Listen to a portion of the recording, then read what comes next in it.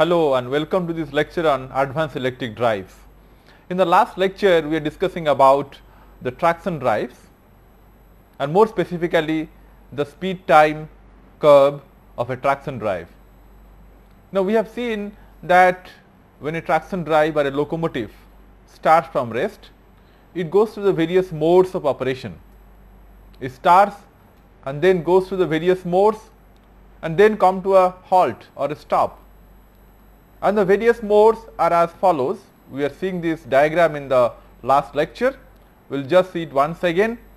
So, we have the constant power region, uh, constant torque region that is from this point to this point which can also be known as constant acceleration because during the constant torque region the acceleration remains constant and then we have the constant power region. This is the constant power region from this point to this point and in this region the power remains constant and then what we have is a free running region. So, this is a free running region where the motor speed is constant and the vehicle speed is constant that is the free running region. The vehicle is running at constant speed or the locomotive is running at constant speed that the free run free uh, running period. And then before we stop the power is switched off to the motor and that is called coasting region. The motor speed reduces.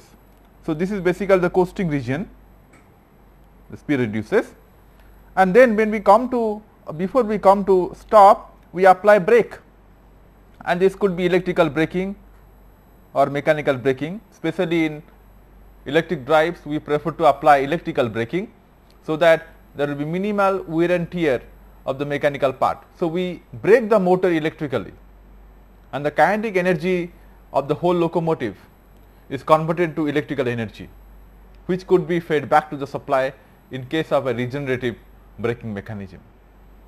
So, uh, this is basically the speed variation. We have constant torque or constant acceleration, then we have constant power, free running, coasting and braking. What about the torque variation? The torque variation is as, as follows. Uh, during the constant torque region, the torque remains constant.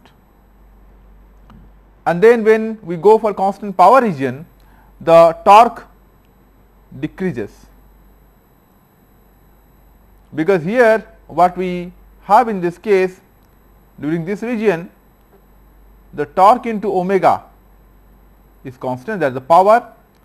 So, we have constant power T into omega is constant and since the speed is increasing or this omega m is increasing torque has to reduce to keep this T omega m constant. Omega m is the mechanical speed.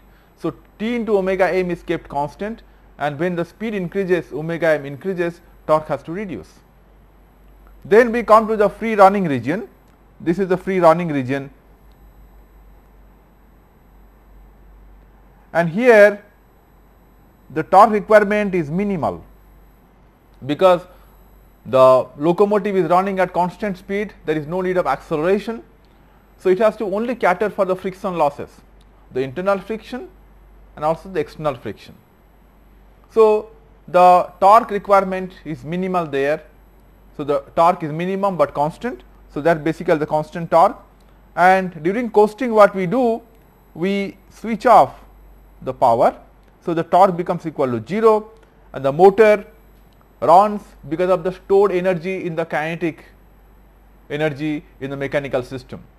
So, the vehicle has got a large inertia, it stores energy and during the coasting region this kinetic energy stored in the inertia of the vehicle caters to the motion. So, we have 0 internal torque, the motor torque 0 is 0, the vehicle speed decreases. And then we go for braking because we have to stop in a scheduled period.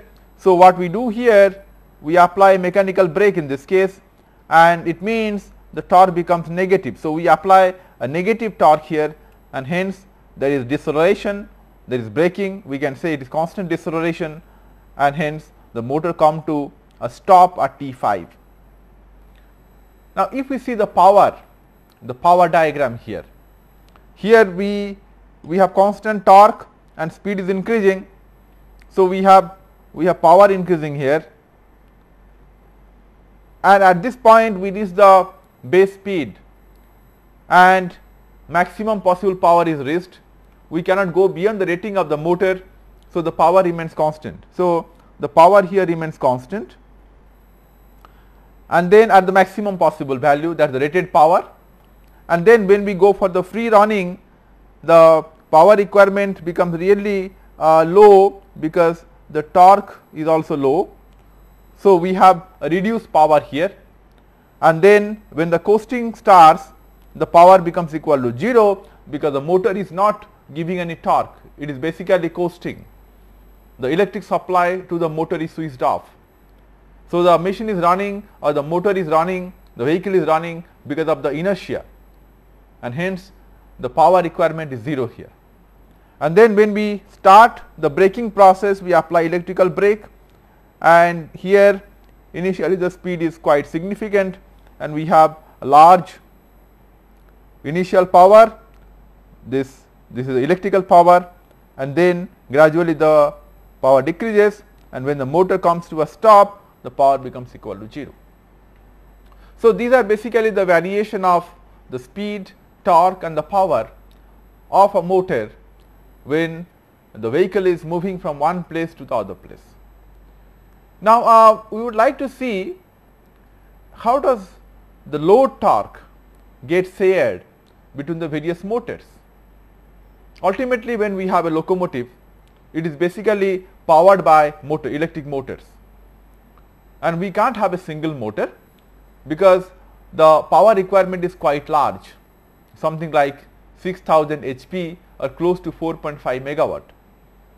So, what we do we have multiple motors to supply the various axles of the locomotive. We could have 5 mot 6 motors, 10 motors and all these motors are attached to the axle and the axle is connected to the wheel and these motors drive the vehicle. We can see a diagram which will be clear.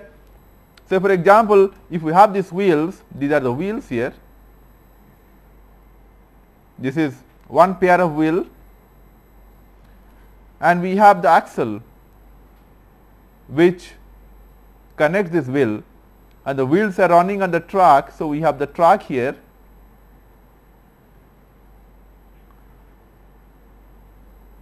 and where does the motor sit? The motor actually sits on the axle, the driving motor sits on the axle. So, we have the motor here which is basically it sits on the axle, uh, mounting is on the axle and then we have we have the shaft output of the motor and then we have the axle and these are the two gears. We have the motor gears and we have the axle gears and these two gears help transmit the torque from the motor to the axle. So, this is this is the electrical motor that we have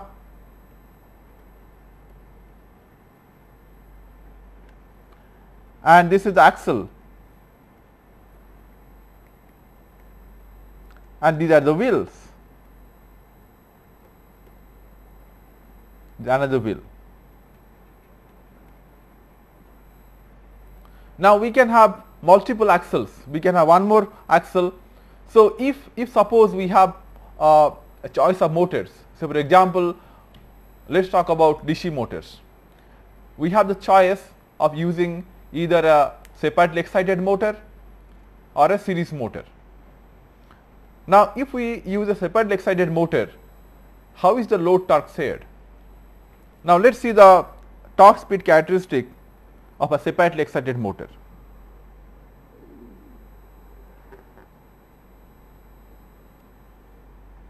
So, uh, we, we have we have the speed in the y axis and torque in the x axis and this is for separately excited DC motor. So, uh, the torque speed is drooping like this. So, it is a straight line, but it is drooping in this following fashion. Now, on the other hand, we have a choice of using a series motor. Now, if we use a series DC motor, the characteristic is something like a hyperbola. At very low torque, we have very high speed and at full torque, we have low speed as follows. So, if we plot the speed versus torque for a separately or uh, for a series DC motor, this is series DC motor. The origin here and we, we have the speed in the y axis and torque in the x axis and this is the nature of the torque speed characteristic. So, at, at low speed we have a high torque. So, it means the starting torque is very high for a series motor the, the starting torque is very high and when we have full speed the torque is very low as we see here. When we increase the speed here the torque developed by the motor decreases. Now, if we see which one shall we choose, uh, we have we have these wheels and we have multiple wheels, we have another wheel here. Uh, similarly, we will have an axle here connecting these two wheels and we have the corresponding motor. Now, the wheels are supposed to run at constant speed. They run at constant speed provided the wheel diameter is the same, but unfortunately the diameter of the wheels are not same because of wear and tear.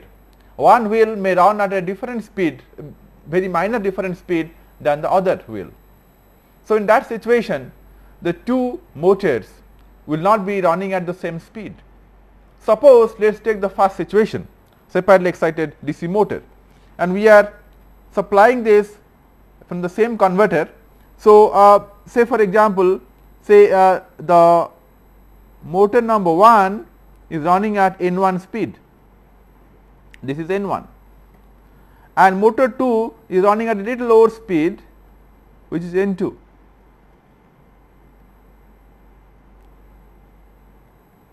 So, this speed variation is very minor, but no doubt there is a variation of the speed. So, N 1 and N 2. So, N 1 is higher than N 2 and N 1 minus N 2 is equal to delta n is the change in speed. So, if run at two different speeds, how is the load torque shared? Now, we see that the first motor N 1 having a higher speed is having a torque corresponding to T 1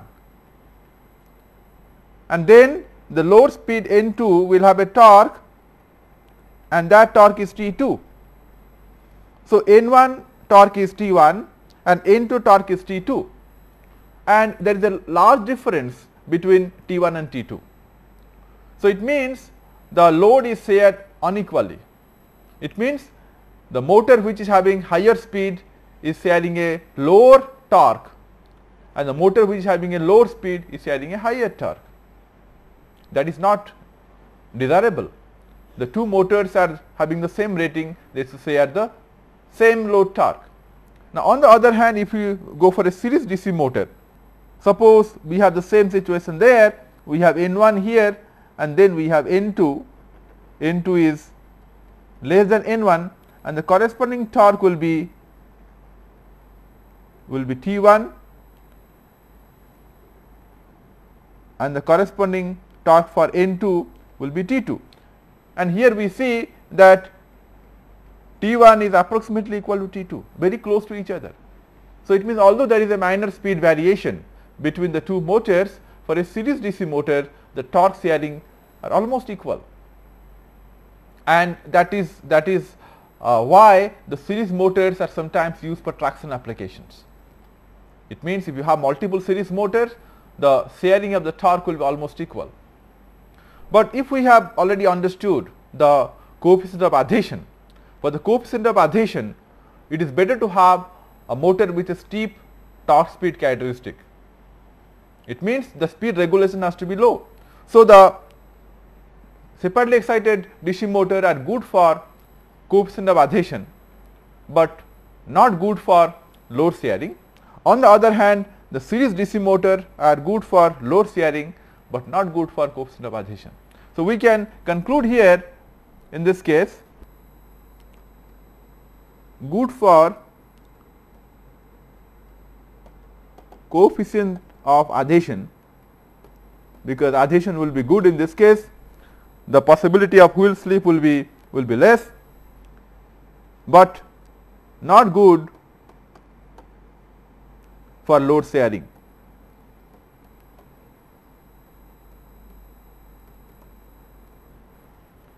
On the other hand, the series DC motor we can say that this these are not good for coefficient of adhesion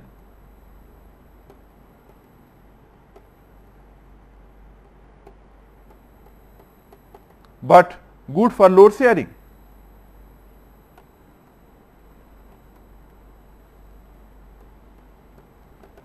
So, we have a choice. So, each one is having its pros and cons. So, sometimes we select depending upon the application, we select separately excited DC motor, sometimes we go for series DC motor. Now, uh, let us uh, see the type of connection. If you see the type of connection, if you have multiple motors, the motors can be connected in series or can be connected in parallel. Which one is better? Now, say for example, here we have two motors connected in series.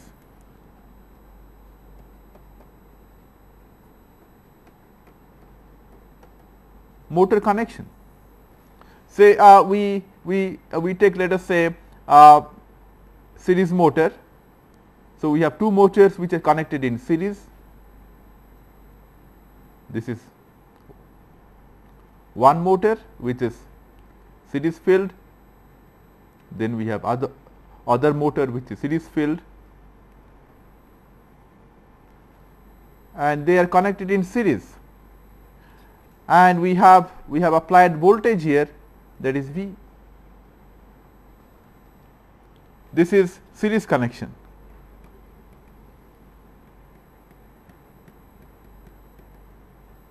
And then we can have another situation where the two motors are connected in parallel.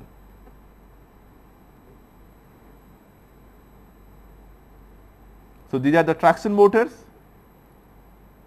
they could be connected in parallel because we have multiple motors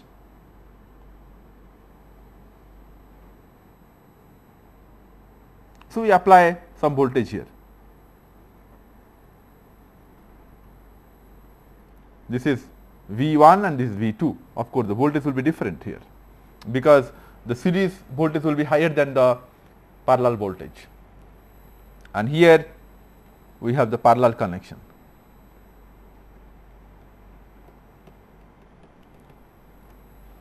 Now, if we connect two motors in series, suppose due to the bad patch of the track, one, one patch of the track is bad and one motor, uh, one axle slips, one wheel slips. So, if that wheel slips because of the bad patch of the track, the speed increases. Wheel slipping means the wheel is running at higher speed, not able to have the grip on the track so, it means the speed increases. Suppose this motor speed will increase, this slips. Now, if this motor speed increases, torque will decrease because we know that the torque speed characteristic is like this for series motor, this is speed and this is torque. So, if speed increases, the torque is going to reduce. This is the torque we have in axis. So, uh, if the torque increases, I mean the speed increases, torque will reduce. And if the torque reduces, the current through this series combination will also reduce. So, when the slip the motor slips, the speed increases, the current will come down and the current will come down, the torque will reduce and the torque is going to reduce in both the motors because both the motors are series connected. And hence, when the wheel slips, there will be net reduction in the torque. And what about the coefficient of adhesion? Now, the coefficient of adhesion, if you if we have seen the definition, the definition of CA is maximum tractive effort that can be applied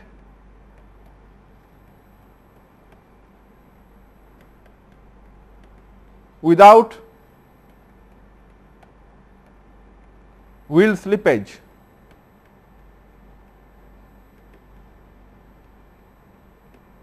divided by weight on the driving wheel.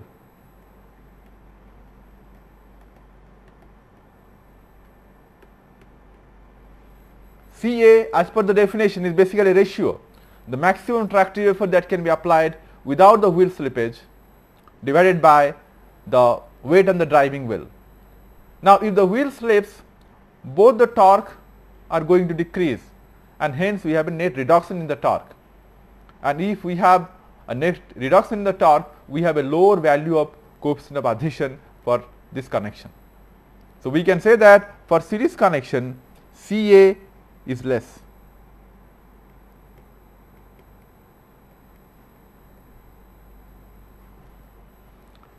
Now on the other hand if we if you go for the parallel connection we have two motors in parallel. Suppose this wheel slips. So if this slips only this current is, is going to decrease and this torque is going to decrease. So this current and this torque of this of this motor which is which is slipping that torque is going to reduce and other motor which is connected in parallel does not see any change. So here effectively we have a higher torque. So as per the definition the tractive effort which can be applied without wheel slippage divided by weight on the driving wheel here the coefficient of adhesion will be more.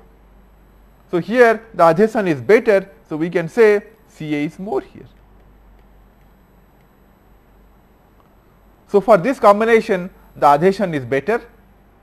We can say that here the adhesion is better.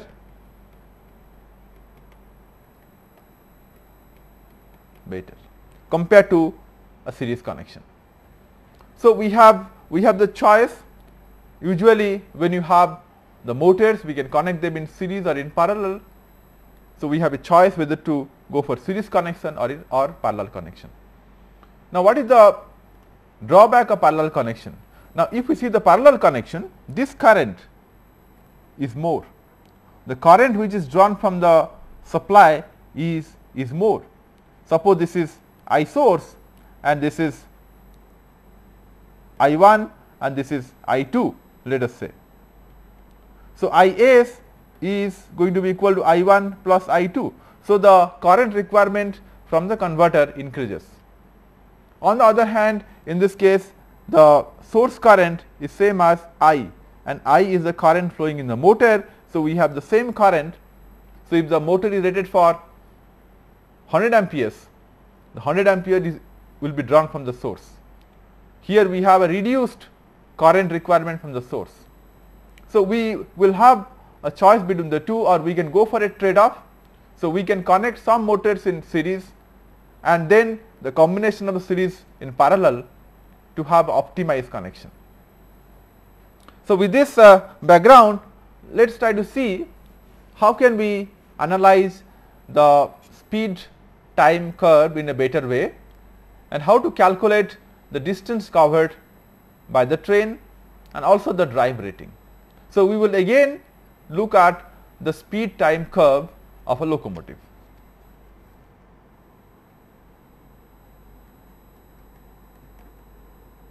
Distance travelled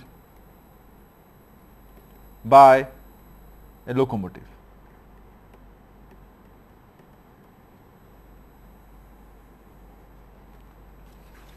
So, uh, we'll will again see the speed time curve.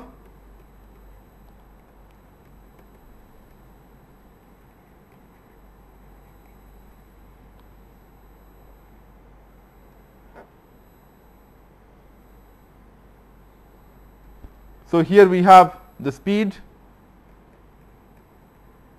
in the y axis and time t in the x axis. So, we go through this region constant acceleration or constant torque, then constant power, then we have the free running period, then we have the coasting and then braking.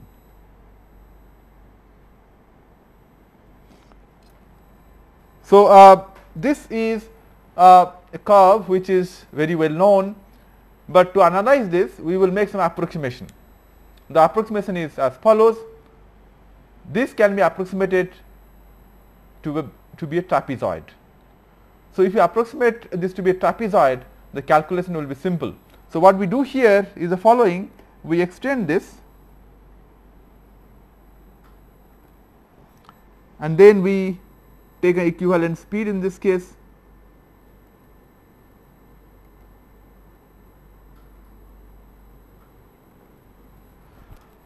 and again we extend this.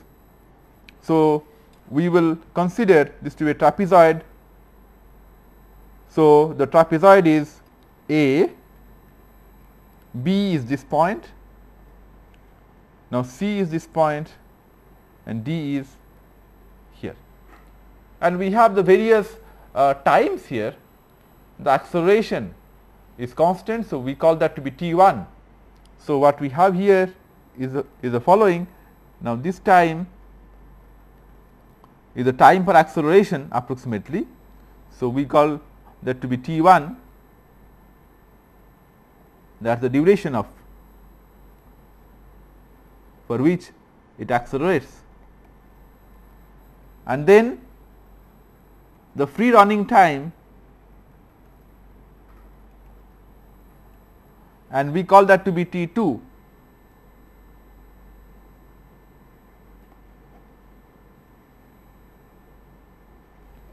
and then we have the braking time.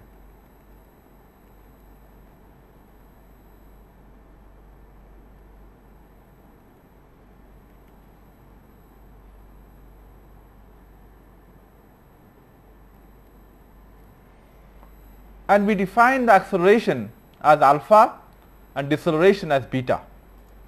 So, uh, this is our T 1. So, we, we call this to be constant acceleration.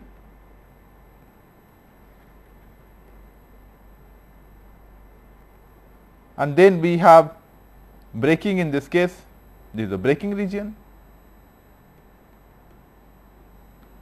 This is the free running period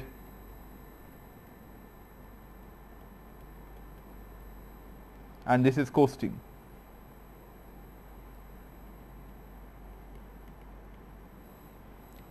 So, uh, here what we do this the area under this curve will give us the distance travelled and we define the following variables and the variables are as follows. This is the maximum velocity that we have here V m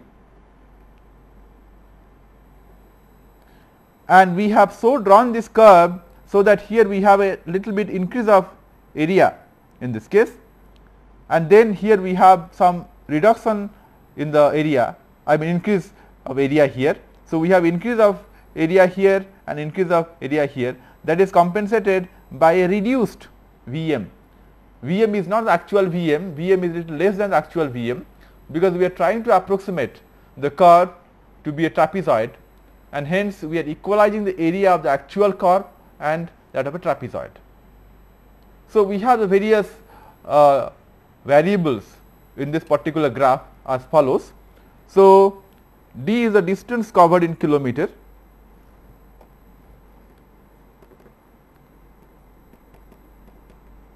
distance covered between A and D.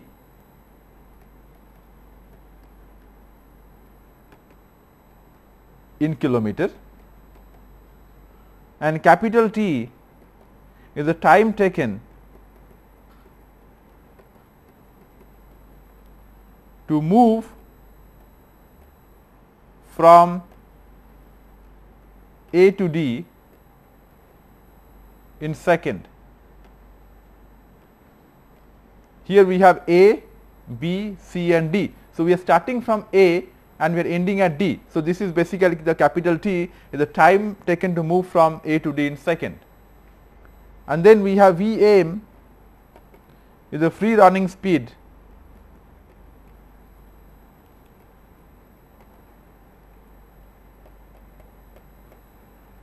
in kilometer per hour.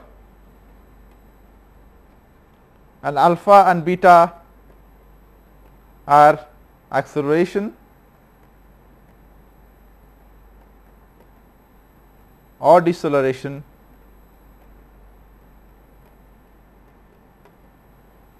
In kilometer per hour per second. So, uh, acceleration is constant acceleration. So, we can say that acceleration is alpha here and braking or deceleration and the rate of deceleration is beta. So, if we have seen this graph, now the objective is to calculate the distance. So, the distance is found out as follows. So, the distance covered is the area under this curve. Now, we we can find out this area as follows. We have we will give this name again as E and F. So, the area under this curve will be the area of the triangles A, B, E plus the area B, C, F, E plus the area F, C, D. So, we will we will calculate this as follows. So, uh, this area the area A B E this area will be half the maximum speed is V m into T 1 and T 1 are, are in second. So, that is T 1 by if you convert this second into hour. So, we have 3600. What about area of this triangle?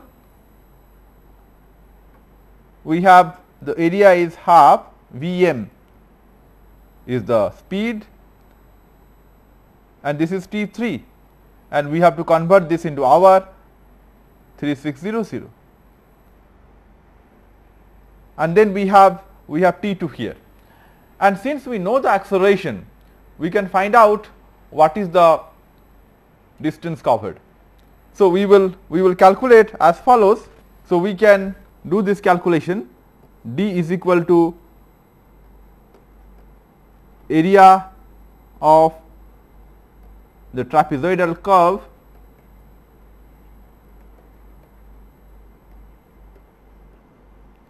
that is equal to we will take this V m outside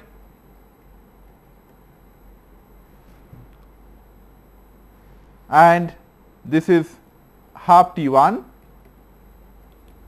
plus T 2 plus half T 3.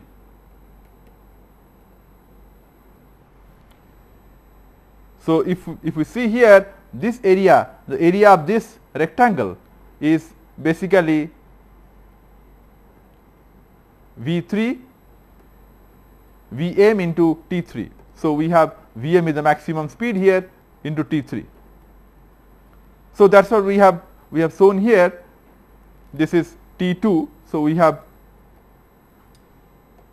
T 2 here. So, V m into T 2.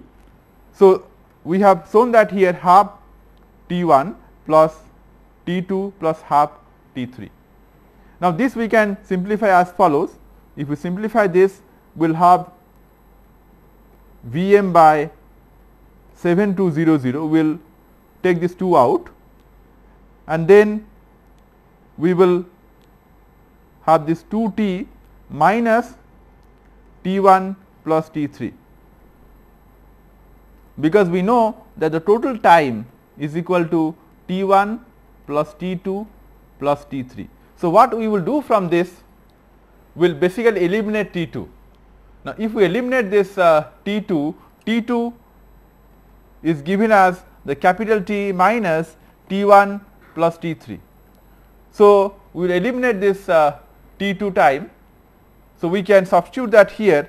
So, V n the V m by 7200 into 2 T minus T 1 plus T 3 and that can be simplified as follows V m by seven 7200 2 T minus Vm by alpha plus Vm by beta. So, alpha and beta are the acceleration. So, if you know the acceleration you can find out what is t1 and what is t3 because we know to reach that particular speed we have to accelerate that and that is a constant acceleration. So, in fact we can say that Vm is equal to alpha into t1 T1 is in second and also Vm is equal to beta into T T3 that we can substitute here and we have the expression for the distance traveled from A to D. So, we have uh, calculated the distance traveled by the locomotive and this D the unit is in kilometer. So, we can write that this is in kilometer because T1 are in second. So, we, we will get the expression of the d in kilometer. Now, let us see how we can calculate the rating of the motor or the rating of the drive. So, if we see the locomotive, there are so many forces coming on the locomotive.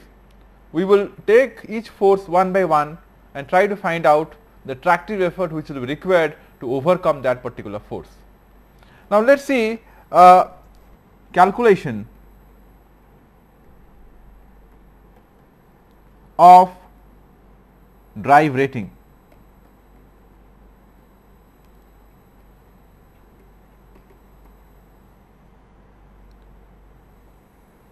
And before we do that, we have to find out the tractive effort calculation of various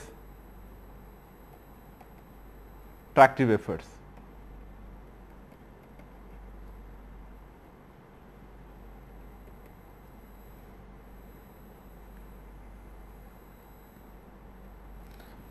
Now, uh, the train is having a mass and it is a huge mass. So, the train has to be accelerated linearly. We have equivalent mass of the train that is usually in tons and it has to be accelerated linearly and we need to have some tractive effort for linear acceleration. So, the first one is to accelerate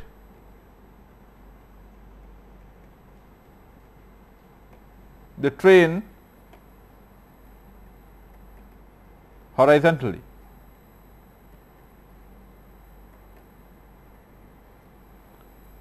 That is equal f a 1. How is it calculated? That is calculated as follows m is the mass in ton. So, we have 1000 m and we have the acceleration, acceleration is alpha and if we convert that into meter per second square into 1000 by 3600 and that is equal to 277.8 m into alpha and the unit is Newton. So, here m is the mass of the train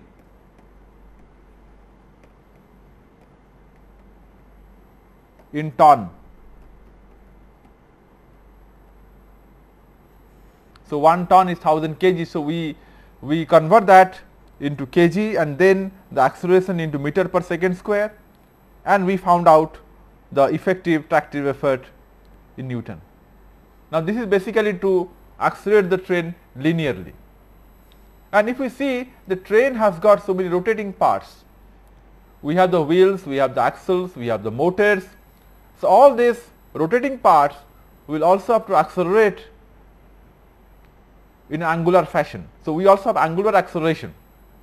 So, we need to also find out the equivalent tractive effort or equivalent torque which is required to accelerate these rotating parts in an angular way. So, uh, the second part of the tractive effort is to accelerate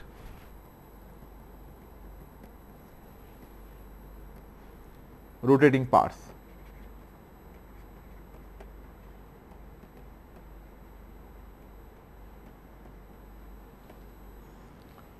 Let us effectively find out the moment of inertia. What is the moment of inertia of the rotating components? We have two rotating components, one is a wheel or there is a motor. Now, suppose we have number of axles equal to nx. So, if nx is the number of axles,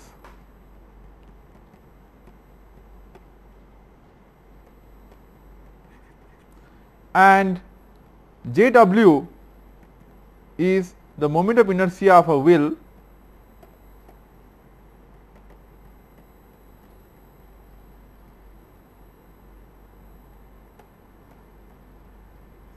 So, how many wheels we have? Each axle will have two wheels. So, if we have nf, nx axles, we have 2 into nx number of wheels. So, the effective inertia for all the wheels will be 2 nx into jw. So, we call that to be j1. So, j1 is the moment of inertia of the wheels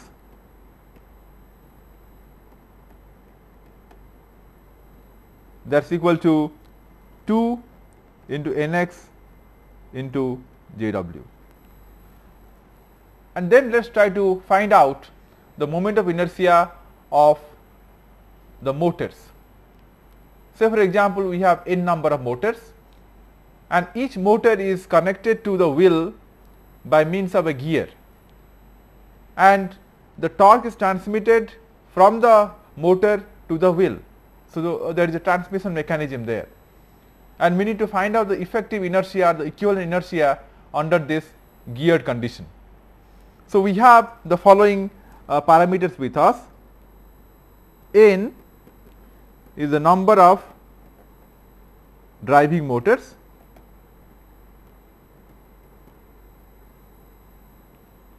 and then n 1 is the teeth on on the on the on the motor side gear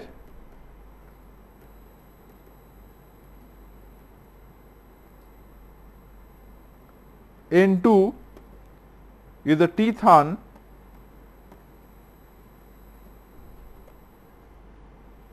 the axle side gear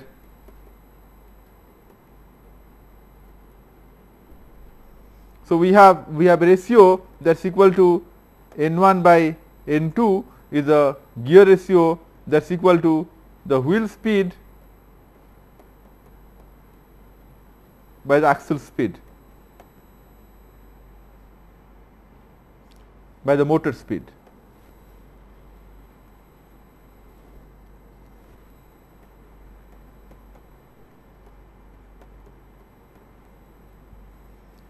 So, uh, this is what we have so, when we refer this total moment of inertia to the wheel side, because the motor is not on the wheel, motor is actually connected to the axle and it is having its own speed. So, this has to be converted, this inertia has, has to be referred to the wheel side. Now, since we have a gear ratio that is equal to A, the wheel side equivalent moment of inertia of the motors is n into Jm, Jm is the inertia of each motor divided by a square. So, we can we can calculate that. So, uh, moment of inertia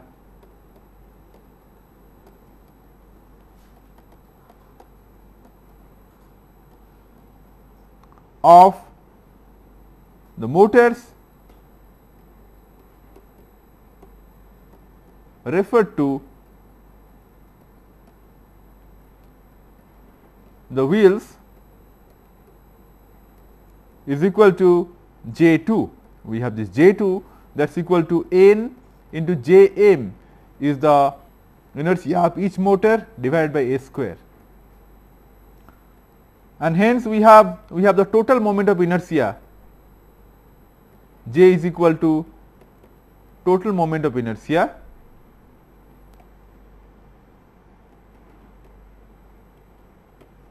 that is equal to J 1 plus J 2 and this total moment of inertia has to be accelerated angularly and we, we know the linear acceleration that is alpha. Alpha is the acceleration of the train. Now this alpha which is which is actually the distance travelled per hour per second or kilometer per hour per second has to be converted to radian per second square or angular acceleration. And to do that we have to have the radius of the wheel because the wheel is rotating and the train is moving forward. So, we have linear acceleration and that has to be converted into angular acceleration. So, if we have the diameter of the wheel is r meters, we can convert alpha into angular acceleration as follows.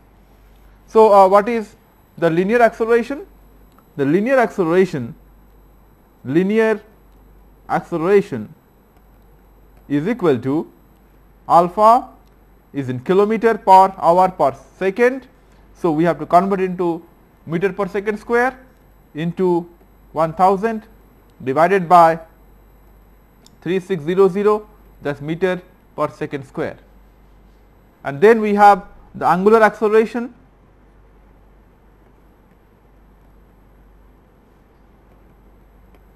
that is equal to alpha into 1000 divided by 3600 into r that is radian per second square. Now, what is r here? r is the radius of the wheel in meter. So, when we have the angular acceleration, we can find out the torque that is necessary uh, for accelerating the rotating parts and the torque is the moment of inertia into the angular acceleration. So, we can find out that so T A 2 is equal to J 1 plus J 2 we have the moment of inertia of the wheel and also of the motor. Refer to the wheel side into alpha into 1000 divided by 3600 into r. And that is equal to we can calculate this to nx jw plus n jm by a square we are replacing this j1 and j2 into alpha by 3.6 r. So, this is basically the effective torque and if you want to find out what is the effective tractive effort F A 2, F A 2 and this is basically in Newton meter. F A 2 is the tractive effort which has to be applied due to I mean to accelerate the rotating parts. That is basically the torque by the radius. That is equal to T A 2 by R. So, uh, we can we can calculate what is the total tractive effort. F A is the total tractive effort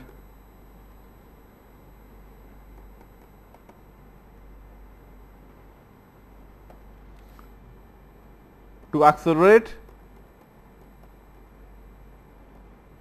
the train horizontally including the rotating parts.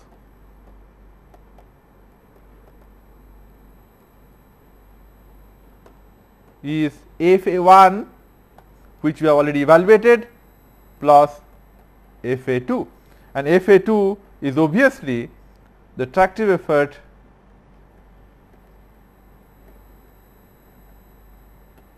for angular acceleration of the rotating parts of the rotating parts. So, uh, FA2 is important because FA2 is a component of the tractive effort which has to be spent to accelerate the rotating parts like wheels, the motors and so on. And then we have a linear acceleration also. So, so the total tractive effort is a summation of the linear acceleration, the force because of the linear acceleration and the force required for the angular acceleration of the wheel and the motors.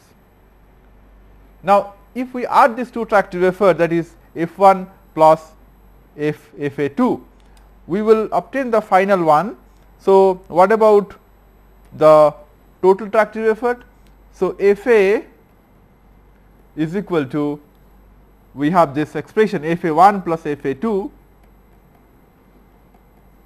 and that is equal to we have the expression 277.8 m into alpha that is in Newton plus we have the angular acceleration to nx jw is the moment of inertia of the wheel plus n jm by a square the gear ratio square into alpha by 3.6 r.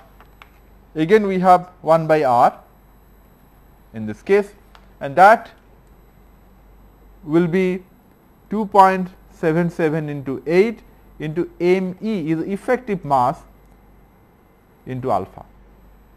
So, we can simplify that the actual mass of the train is not m m is just the weight of the train or, or the mass of the train in kg or in ton. Now, the effective mass includes the rotating part also. So, this effective mass m e is 10 percent higher than the actual mass. So, this is basically for the acceleration which is the horizontal plus angular and then we have other tractive efforts also. So, let us see the other tractive efforts. We have the gravity Now, sometimes the track is actually not linear, not horizontal, that is having a inclination. So, if, if you see the track, this is basically the nature of the track here and here we have the g the gradient and then this is 1000 meters. So, what we have here because of this we have a tractive effort which is required. This is basically the mass of the train or the weight, the weight is 1000 m into g. So, we have a component of the force which is opposing the motion, it is trying to go forward here and that is basically the tractive effort which has to be supplied by the locomotive. So, that is evaluated as follows. So, we have F g is the tractive effort because of the gravity that is equal to 1000 m, m is the mass in ton, then 1000 is basically to convert that into kg into g is is the gravitational acceleration 8.9.81 meter per second square into the g is the gradient by 1000. g is defined as the change in the vertical inclination in 1000 meters. So, effectively what we have here this is basically the sine component if, if this angle is theta this is 1000 mg into sine theta that is approximated as 1000 mg into g by 1000 and that is equal to m small g capital G Newton or that is equal to m g in kg. So, this is the gravity or sometimes we call this to be gradient. So, uh, in this lecture we have discussed the speed time curve of a locomotive. We have seen how we can calculate the overall distance travelled and we got an expression for the distance travelled by the locomotive from one place to the other place when it goes through constant torque mode, constant power, free running, coasting and braking. And then we tried step by step to evaluate the various tractive effort primarily to include the train uh, to accelerate the train horizontally, to accelerate the, the angular or the rotating parts of the train and also when the train is overcoming a gradient the, the track is not a horizontal track it is having a up gradient or a down gradient. So, we found out the tractive effort required to overcome a gradient. So, in the next, uh, next lecture we will be discussing the other type of tractive effort which are required to overcome the air resistance and we will see how the total rating of the electric motor which is used for driving this train can be calculated. So, these things we will be discussing in the coming lecture.